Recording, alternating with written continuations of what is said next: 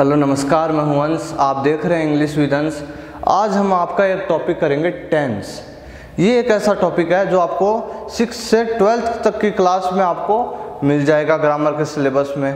और ये आपके कॉलेज के सिलेबस में भी होता है। प्लस आप जितनी भी कंपटीशंस के एग्ज़ाम देते हैं टेंस एक ऐसा टॉपिक है इंग्लिश का इंग्लिश ग्रामर का, जो आपको सिलेबस में अवश्य ही मिलेगा। तो आज हम इसको एक सामान्य सा परिचय के साथ स्टार्ट करते हैं अपनी वीडियो को। तो देखिए टेंस वास्तव में होता क्या है? टेंस अपन अभी तक क्या समझता है? टेंस होता है काल। अपन ये धारणा बना रखी काल, समय।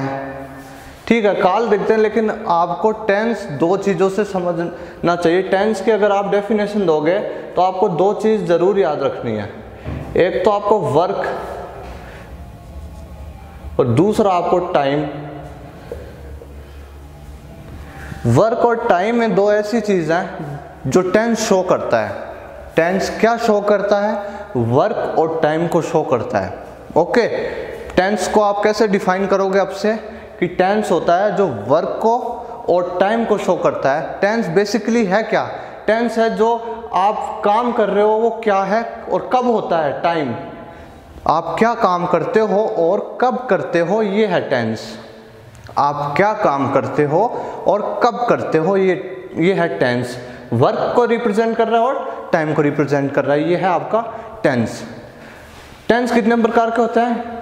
There are three types of tense हमेशा से अपन जानते हैं कि प्रेजेंट टेंस होता है एक एक पास्ट टेंस होता है, एक एक फ्यूचर टेंस होता है एक। ठीक है, और इनका एक डिवाइडेशन और होता है, जो सब में सेम है। सिंपल कंटिन्यूस परफेक्ट और परफेक्ट कंटिन्यूस सिंपल को अपन अफर्मेटिव भी बोलते हैं और कंटिन्यूस को अपन प्रोग्रेसिव भी टेंस प्रोग्रेसिव टेंस भी बोलते हैं।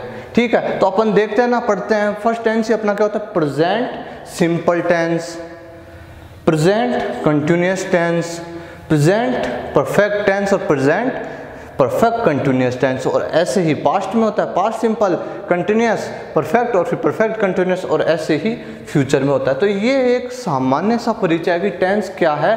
टेंस ध्यान रखना वर्क को और टाइम को रिप्रेजेंट करता है आपका टेंस आप अब से डिफाइन करोगे टेंस को किससे कौन सा काम कब हो रहा है और कैसे हो रहा है।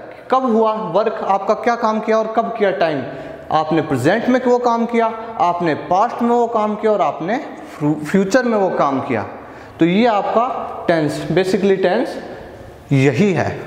ठीक है? ये तो एक सामान्य सा परिचय अपन देखते हैं प्रेजेंट टेंस प्रेजेंट टेंस को अपन सिंपल टेंस से स्टार्ट करते हैं। हमेशा से अपने स्कूल्स में भी, अपने कॉलेजेस में भी टेंस किससे स्टार्ट होता है? प्रेजेंट सिंपल टेंस से स्टार्ट होता है। तो अपन देखेंगे आज अपन पहले थोड़ा सा और परिचय करते हैं टेंस का। टेंस को आप रटने, पहली चीज़ मैं आपको बता दूँ, रटना नहीं है।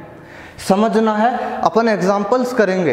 एग्जाम्पल्स करेंगे, आपके बोर्ड के एग्ज़ाम के दृष्टिकोण से भी करेंगे और जो मेनली क्वेश्चन आपका एग्जामिनर करता है आपके पेपर में, उस प्रकार के भी अपन क्वेश्चंस करेंगे। ओके तो टेंस आपका ही अपन क्लियर करते हैं आज अपने टॉपिक में। तो present tense present tense present tense अपना वर्तमान वर्तमान वर्तमान जो चल रहा है ना, वो। वर्तमान काल अपन बोलते हैं ना वर्तमान तो ऐसे, पास्ट, भूतकाल जो बीत गया, चली गई पास्ट में बातें, ठीक है, और फ्यूचर जो आने वाला है, जो आगे आएगा ना, वो फ्यूचर। ये अपना, जनरली अपन ये पढ़ चुके हैं, ये बेसिकली ये चीज़ें अपन हर क्लास में भी पढ़ी है, और हर हर स्टैंडर्ड में पढ़ी अपन ने ये चीज़। फिर भी एक सामान्य सा परिचय, वीडियो अपना पूरा टेंस का टॉपिक स्टार्ट करने से पहले थोड़ा सा ज़रूरी है। तो प्रेजेंट टेंस वर्तमान काल, जो वर्तमान में चल रहा है, जो अभी चल रहा है, ठीक है? पास्ट टेंस जो बीत गया, जो हो चुका है, और फ्यूचर टेंस जो आने वाला है। ओके तो सिंपल में अपन साधारण से वाक्य देखेंगे। कंटिन्यूस में अपन कंटिन्यूस में अपन देखेंगे कि वो काम चल रहे हैं। चल रहे हैं, लगातार चल रहे हैं, चाहे पास्ट में हो, चाहे प्रेजेंट में हो। ठीक है? तो अपन ये टेंस का स्टार्ट करते हैं। प्रेजेंट सिंपल टेंस है ये। फ़र्स्ट टेंस है अपना प्रेजेंट सिंपल टेंस तो मैं आपको बताता हूँ। अपन देखते हैं प्रेजेंट सिंपल टेंस तो ये है अपना प्रेजेंट सिंपल टेंस ये अपना पहला टेंस ओके तो कुछ बातें ध्यान रखने योग्य क्या है? हिंदी वाक्यों के अंत में ता है, ती है, ते हैं। अपन यही पढ़ते आए हैं, इसी तरीके से पढ़ेंगे। हिंदी वाक्यों के अंत में ता है, ती है, ते है, आदि आते हो तो कौन सा टेंस है? प्रेजेंट सिंपल टेंस है, वह पढ़ता है, वह खाना खाती है, ठीक है? तो ता है, ती है, ते हैं, वह खेलते हैं दे प्ले है ना? वह खाना खाती है सी ईट्स फ़ूड ओके ता है वह पढ़ता है, वह पढ़ता है ही रीड्स तो हिंदी वाक्यों के अंत में ता है, ती है, ते है. एक बार सामान्य तरीके से ध्यान रखें. आप जब भी सेंटेंस को पढ़ेंगे तो उसका जब हिंदी करेंगे तो आप फ़र्स्ट ऑफ़ ऑल देखेंगे तो आप हिंदी करोगे तो आपको लग रहा है कि वाक्य में एस या एस लगा हुआ है। फ़र्स्ट फॉर्म के जैसे बहुवचन है प्लूरल नंबर है तो उसके आगे वर्ब की फ़र्स्ट फॉर्म है तो आप थोड़ा सा समझोगे तो आपको समझ आएगा कि भाई ये टेंस कौन सा आप उसकी हिंदी करोगे तो आपको दिमाग में आएगा प्रेजेंट सिंपल टेंस है। रटना नहीं है, रटोगे बिल्कुल नहीं आएगा। ग्रामर रटने से नहीं आएगी। जितने एक्सरसाइज सॉल्व करोगे, उतनी ग्रामर आएगी। तो सिंपल सिंपल ये सेंटेंस में हेल्पिंग वर्ब नहीं होती है। जो प्रेजेंट सिंपल है ना, इसमें हेल्पिंग वर्ब नहीं होती है सिंपल में। सिंपल जो अपन अफर्मेटिव सेंटेंस बनाते हैं ना सिंपल सेंटेंस बनाते हैं, उनमें एच वी नहीं होती है हेल्पिंग वर्ब नहीं होती है।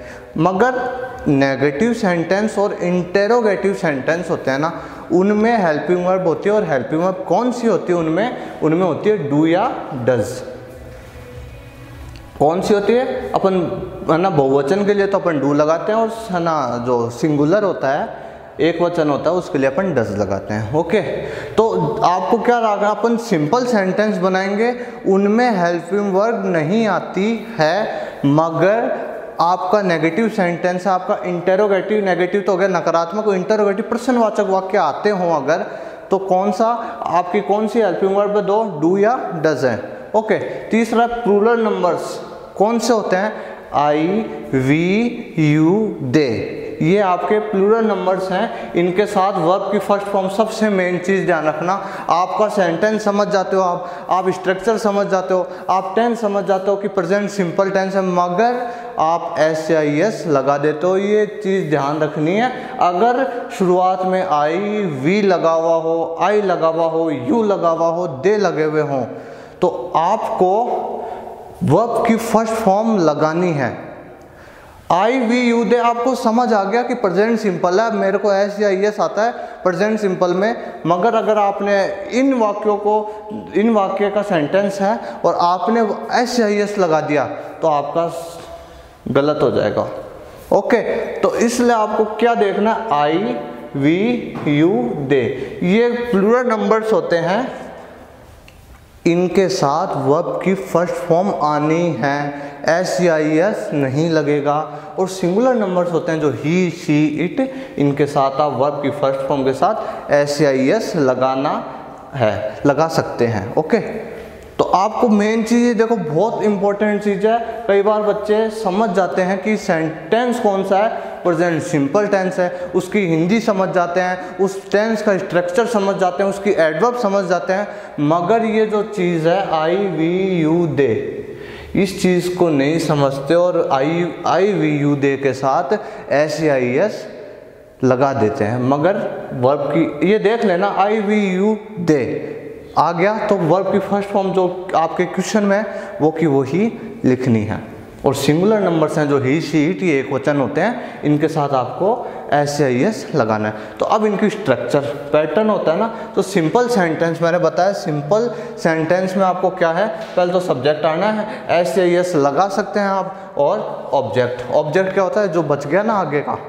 वर्ब के आगे का जो भी पार्ट होता है, वो ऑब्जेक्ट होता है। ओके तो नेगेटिव अब नेगेटिव सेंटेंस में क्या है? नेगेटिव सेंटेंस में मैंने आपको बताया वर्ब आई, इसमें हेल्पिंग वर्ब नहीं थी ना डू या डस नेगेटिव और इंटेरोगेटिव में होगी। तो क्या आ गई? सब्जेक्ट के बाद हेल्पिंग वर्ब आ गई। तो सब्जेक्ट आएगा पहले तो नेगेटिव में, फिर हेल्पिंग वर्ब आपकी डू या डज आएगी। आपका फिर नॉट आ जाएगा, क्योंकि नकारात्मक है तो नॉट वह काम नहीं करता है है ना? तो नहीं आ रहा है ना, नकारात्मक भाव आ रहा है तो नॉट आएगा तीसरे स्थान पर और फिर वर्ब की फ़र्स्ट फॉर्म आनी है। मैंने बताया आपको डू डस आ गया तो वर्ब की फ़र्स्ट फॉर्म ही लगानी है। एस या यस मत ठोक देना और ऑब्जेक्ट जो बचा हुआ है। और इंटेरोगेटिव में डज तो हेल्पिंग वर्ड पहले आ जाती है। क्वेश्चन करते हैं, क्या से? वाट से क्वेश्चन होता है तो हेल्पिंग वर्ब पहले आ जाती है इसमें, फिर आपका सब्जेक्ट आता है, आपकी वर्ब की फ़र्स्ट फॉर्म आती है, फिर आपका ऑब्जेक्ट आता है। ओके तो ये चीज़ ध्यान रखनी है आपको कि सिंपल सेंटेंस में आप एस या एस लगा सकते हो सिंगुलर नंबर के साथ। सिंगुलर नंबर के साथ आप एस या एस लगा सकते हो। आई वी यू दे के साथ आप वर्ब की फ़र्स्ट फॉर्म ही लगाएँगे। ओके, और नेगेटिव सेंटेंस है तो नेगेटिव मैंने आपको क्या बताया? सिंपल सेंटेंस देखो सिंपल सेंटेंस में हेल्पिंग वर्ब नहीं होती डू या डस नहीं है, ठीक है? मगर नेगेटिव और इंटेरोगेटिव में हेल्पिंग वर्ब होती है और वो कौन सी होती है? डू या डस तो ये आ गई वर्ब के स्थान पर। डू या डस आ गई, फिर नॉट आ गया, क्योंकि नेगेटिव सेंटेंस है तो नॉट है प्लस वर्ब की फ़र्स्ट फॉर्म पर, फिर ऑब्जेक्ट ओके और इंटेरोगेटिव में अपन क्वेश्चन कर लेते हैं। तो पहले क्वेश्चन पहले से होता है, क्या आता है, क्या क्या से पूछता है क्वेश्चन आपका? वाट या फिर आपका डू या does W H words use होते हैं। ओके तो अपने ये जो हेल्पिंग वर्ब होती है, पहले आ जाती है इंटेरोगेटिव में, और फिर सब्जेक्ट फिर वर्ब की फ़र्स्ट फॉर्म आपको ये ध्यान रखना है सिंपल सेंटेंस में आपको वर्ब की फ़र्स्ट फॉर्म लगानी है, मगर सिंगुलर नंबर के साथ ओके नेगेटिव और इंटरोगेटिव में नहीं लगेगी। अपन कुछ वाक्य हैं ये, इनका करते हैं। मैं अपना पाठ याद करता हूँ, है ना?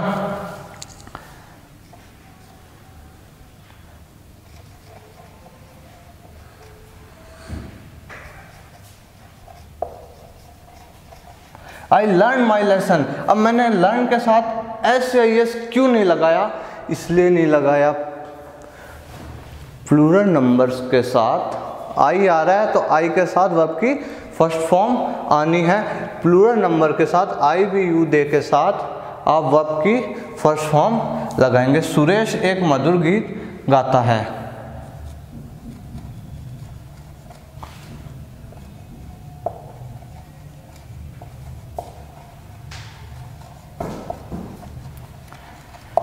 सुरेश एक मधुर गीत गाता है। Suresh sings a sweet song. अब मैंने सुरेश के आगे सिंग्स लगा दिया। एस या सिंग फॉर्म है तो एस या यस मैंने लगा दिया। क्यों लगाया? ही सी इट एक वचन करता सुरेश एक ही बंदा है। ठीक है तो सुरेश सिंग्स ए सॉन्ग। क्या वह अब अब है ना? तो इसी में अपन नेगेटिव भी ले लेते हैं। इन्हीं दोनों में वह अपना पार्ट याद करता है। है ना? करता हूँ सॉरी मैं अपना पार्ट याद करता हूँ ना तो अब मैं अपना पार्ट याद नहीं करता हूँ। I does I do not learn my lesson तो डू नॉट आ जाएगा और लर्न माई लेसन आ जाएगा। देखो, मैं अपना पार्ट याद करता हूँ तो आपको क्या आएगा? आई लर्न माई लेसन और अगर नहीं करता हूँ तो I do not learn my lesson नहीं नेगेटिव में हो जाएगा। सुरेश एक मधुर गीत गाता है तो सु, अगर Suresh sings a sweet song मगर सुरेश एक मधुर गीत नहीं गाता Suresh does not does not okay एक वचन है तो does not sing a sweet song तो ये अपने नेगेटिव भी हो गया और सिंपल भी हो गया। अब अपन इंट्रोगेटिव में देखते हैं क्या वह एक पुस्तक पढ़ता है?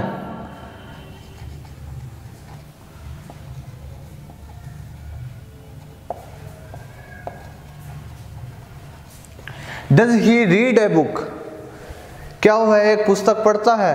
डज क्या? है ना? वह एक वचन है तो अपन ने डज लगाया। एक वचन है तो अपन ने डज लगाया। Does he read a book क्या वह एक पुस्तक पढ़ता है? अब अगला सेंटेंस क्या तुम्हारी माँ तुम्हारे से प्रेम करती है? ओके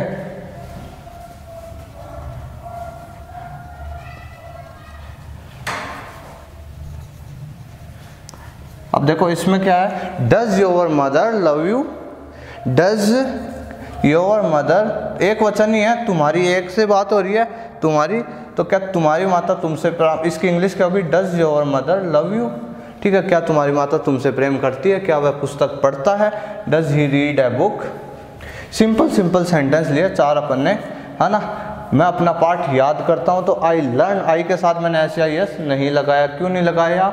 आई प्लूरल है। ठीक है आई लर्न माई लेसन मैं अपना पार्ट याद करता हूँ, और अगर नहीं करता हूँ तो I do not learn my lesson ठीक है, सुरेश एक मधुर गीत गाता है तो सुरेश सिंह से स्वीट सॉन्ग और अगर नहीं गाता है तो सुरेश डज नॉट सिंग्स है तो सिंग है ना? ए स्वीट सॉन्ग तो ये अपने चार सेंटेंस अब कुछ नियमों की बात करते हैं। प्रेजेंट टेंस के कुछ नियम हैं इस सिंपल के कि वहाँ पर अपने को एस या एस लगाना है। तो अपन कुछ नियम की बात करते हैं। तो देखिए कुछ अपने नियम हैं और ये जो मैंने लिखे हैं, ये ये सेंटेंस आपकी एग्ज़ाम में इसी तरीके से सेंटेंस पूछे जाते हैं। और इसी तरीके से ब्रिकेट में आपको वर्ब दी जाती है और आपको ब्लैंक्स में फिल करना होता है। तो देखो आदतन कार्य के लिए present tense present simple tense की बात हो रही है है ना? तो आदतन कार्यों के लिए हैबिचुअल वर्क्स होते हैं ना जो अपने उनमें प्रेजेंट सिंपल टेंस लगता है। देखिएगा माई ब्रदर लाइक ये क्या है? वर्ब है। लाइक like, वर्ब है। ठीक है? Tea and biscuits in the morning my brother like tea and biscuits in the morning अभी उसका ब्रदर का रेगुलर आदतन कार्य है कि उसको सुबह के साथ चाय चाहिए और बिस्किट चाहिए। आदतन कार्य है क्या है? कि उसको सुबह के लिए टी चाहिए और बिस्किट चाहिए साथ। ये उसका क्या है? आदतन है, वो रोज़ खाता है, चाय के साथ सुबह इन द मॉर्निंग तो क्या है ये उसका आदतन कार्य है? ब्रदर क्या है? एक वचन है। एक वचन है तो अपन क्या लगा देंगे? लाइक्स ये आपका सेंटेंस करेक्ट हो चुका है। My brother likes okay like दे रखी तो अपन ने लाइक्स लिखा क्यों एक वचन है और सिंपल सेंटेंस है प्रेजेंट ठीक है? Tea and biscuits in the morning आदतन कार्य ओके उसका रेगुलर उसका हैबिचुअल वर्क है ओके दूसरा आई ये वापस वर्क दे दिया आपको। अब एट सिक्स ऑफ़ क्लॉक मैं रेगुलर कितने बजे होता हूँ? उठता हूँ सिक्स ऑफ़ क्लॉक को उठता हूँ, ठीक है? अब क्या है आई मैंने क्या कहा था आई आई है प्लूरल अब प्लूरल के साथ आपको एस या एस नहीं लगाना। आई गेट्स गेट्स अप नहीं होगा। आई गेट अप आई के साथ वर्ब की फ़र्स्ट फॉर्म ही आएगी I get up okay S नहीं लगाओगे I gets up at six of clock आदतन कार्य है, इसलिए आपको आई गेट आई है ना? इसलिए फ़र्स्ट फॉर्म ही लगानी है गेट की get I get up at six of clock okay अब तीसरा है आई अब वर्ब दे दी ब्रिकेट में रीड ए बुक रेगुलरली मैं एक बुक रोज पढ़ता हूँ, ये भी क्या उसका आदतन है हैबिचुअल वर्क है उसका। तो रेगुलर है उसका ये काम तो क्या है रीड ये रीड फॉर्म दे रखी है तो आपको रीड का रीड ही लिखोगे। क्यों लिखोगे? बता दिया, आई है क्योंकि। अब आई की जगह मैं लिख दूँ ही। अब क्या है ये सिंगुलर है? तो अब आपको he reads a book regularly ठीक है सिंगुलर हो गया तो अपन ने फॉर्म भी चेंज कर दिया एस या एस लगा दिया अपन ने, क्योंकि, है ना, क्योंकि ये एक वचन था। अब आई था जो, वो एक वचन नहीं था। अपन ने पढ़ा है आई वी यू दे इनके साथ अपने को एस या एस नहीं लगाना। तो ओके हैबिचुअल वर्क आदतन कार्यों के साथ अपने को प्रेजेंट सिंपल टेंस का यूज़ करना है। दूसरा है, शाश्वत सत्य। Universal truth. शाश्वत सत्य होते हैं, यूनिवर्सल ट्रूथ जिनको नकारा नहीं जा सकता तो शाश्वत सत्य है। अब क्या है? द सन सेट फॉर्म दे दी वर्ब इन द वेस्ट सूरज पश्चिम में डूबता है। ये शाश्वत सत्य ही यूनिवर्सल ट्रूथ है। आप इसको जुटला नहीं सकते, आप इसमें परिवर्तन नहीं कर सकते। इसलिए ये शाश्वत सत्य है। कहाँ जो सूरज होता है, वो पूर्व में उगता है और पश्चिम में ढल जाता है। तो सेट तो सन सेट्स एक वचन है तो S C T S sets अपन ने एस आई एस लगा दिया है। In the west okay the moon get its light from the sun अब जो चंद्रमा है, चाँद है, वो अपनी लाइट किससे लेता है? फ्रॉम द सन से। ये भी शाश्वत सत्य है। आप इसको जुटला नहीं सकते। इसलिए गेट्स एक वचन है दोनों, सन भी था, मून भी था। ठीक है तो सात सत्य हैं जो यूनिवर्सल ट्रूथ होते हैं, उनमें भी अपने को कौन सा टेंस अप्लाई करना है? प्रेजेंट सिंपल टेंस अप्लाई करना है। Okay the earth revolve around the sun ये भी सात सत्य है यूनिवर्सल ट्रूथ है, क्या है? कि जो अर्थ है, अपनी जो पृथ्वी है, वो किसके चारों ओर चक्कर लगाती है? सन के चारों ओर चक्कर लगाती है। यूनिवर्सल ट्रूथ है सौ सत्य है तो revolve okay the earth revolve around the sun जो पृथ्वी है, ये सन सूर्य के चारों ओर चक्कर लगाती है। Two and two make form दे दी। फॉर दो और दो क्या मिलाते हैं? चार। अब एक वचन नहीं है, दो ध्यान रखो। दो, पहले ही दो दो दो, ठीक है? तो अपन क्या लिखेंगे? मेक्स बहुवचन था तो अपन ने लिखा है ना makes okay two and two sorry sorry sorry sorry sorry make make ही आएगा क्या? क्योंकि बहुवचन है तो मेक ही आएगा। अपन ने इनमें प्रेजेंट सिंपल में अपना जो टू एंड टू बहुवचन करता है प्लूरल है तो make four S I S नहीं मेक्स फोर अपन ने लगातार तीन एस आई एस के देख लिए तो ये भी थोड़ा सा रिपीट हो गया। समझ आता हूँ। Two and two make four दो और दो क्या बनाते हैं? चार बनाते हैं। अब rain rain fall from the clouds ये भी साफ़ सत्य है। क्या है कि जो बारिश होती है, वो कहाँ से आती है? क्लाउड से आती है। तो rain falls F A double L S ये अपन एस लगाएँगे इसमें। ये two and two make four दो और दो क्या बनाते हैं? चार. Rain falls from the clouds बारिश होती है, वो कहाँ से आती है? क्लाउड्स से आती है। तो अपन एक बार फिर से साफ़ हो सकते हैं यूनिवर्सल ट्रूथ क्या है? The sun set in the west पश्चिम में छिपता है तो सात सौ सत्य इसको नकारा नहीं जा सकता। The moon gets its light from the sun ठीक है, जो चंद्रमा होता है, वो अपना प्रकाश कहाँ से लाता है? सूरज की रोशनी से लाता है। The earth revolve around the sun अपनी पृथ्वी है, वो किसके चारों ओर चक्कर लगाती है? सन के। Two and two make make four दो और दो क्या बनाते हैं? चार, ये तो ये अपना प्लूरल था, दो और दो, है ना?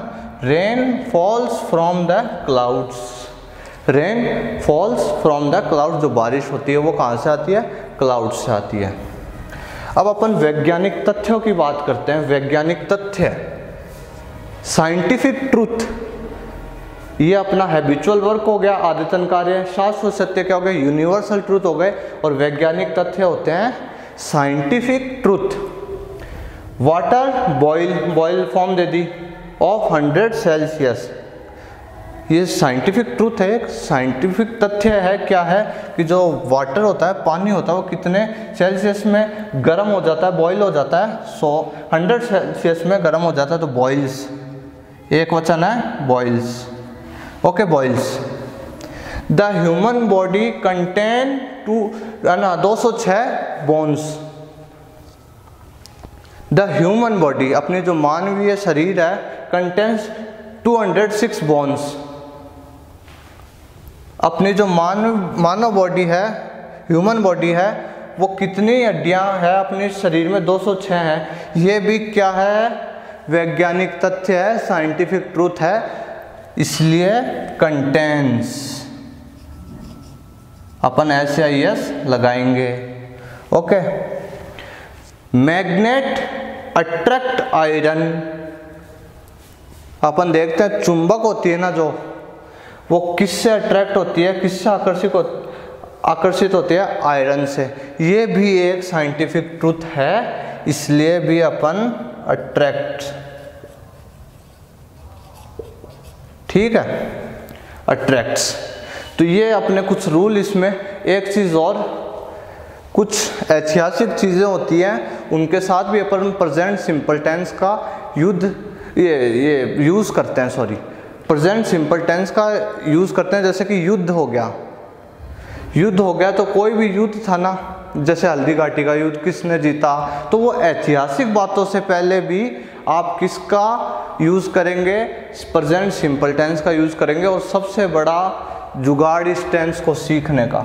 सबसे बड़ा टॉनिक सबसे बड़ी चीज़, इसको समझ लिया। ये चीज़ तो रूल्स हैं, ये चीज़ आप समझ गए। आप क्यों ये सिंपल टेंस की पहचान ता है? ती है तेज से तो समझ जाओगे थोड़ा सा। मगर ये बहुत अच्छी चीज़ है एडवर्ब्स कुछ एडवर्ब्स होती है जो आपके सेंटेंस में दी जाती है। उनसे आप पता लगा सकते हैं कि ये टेंस कौन सा है। तो ये प्रेजेंट सिंपल टेंस की एडवर्ब्स हैं। तो मेरे माने ये आपको रट लेनी है, याद कर लेनी है अच्छी तरीके से। सेंटेंस में अगर ऑलवेज आए यूजुअली आए नॉर्मली आए ऑफन आए जनरली आए हार्डली आए seldom occasionally frequently daily regularly suddenly every year या एवरी मंडे या एवरी वीक एवरी के साथ मंडे या एवरी के साथ वीक या एवरी के साथ ईयर ओके ऑन संडे या ऑन मंडे या ऑन ऑन के साथ मंडे या Tuesday okay once a week या once a year once a week या once a year okay sometimes और नेवर ये कुछ एडवर्ब्स हैं आपकी, ये बहुत इंपॉर्टेंट है।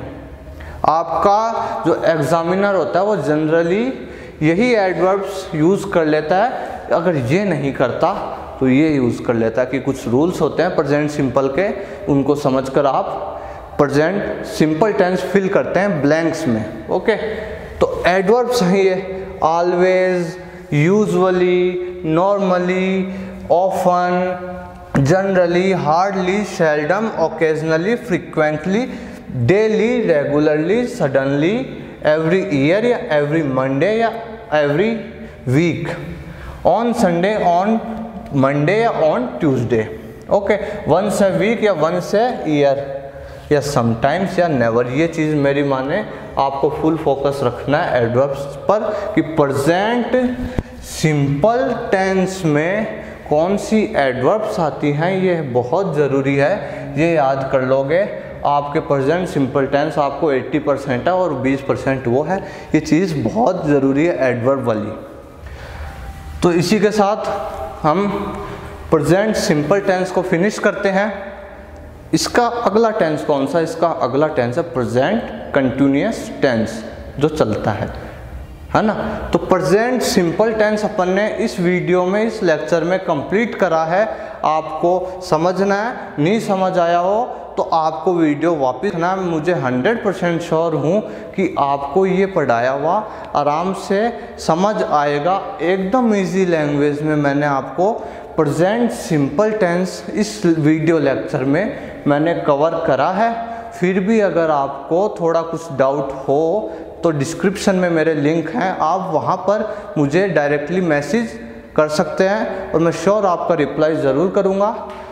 हम नेक्स्ट वीडियो में मिलेंगे आपके, इसके प्रेजेंट टेंस के नेक्स्ट चैप्टर में। ओके आपको वीडियो अच्छा लगा हो तो आप सब्सक्राइब करें शेयर करें लाइक करें। Thank you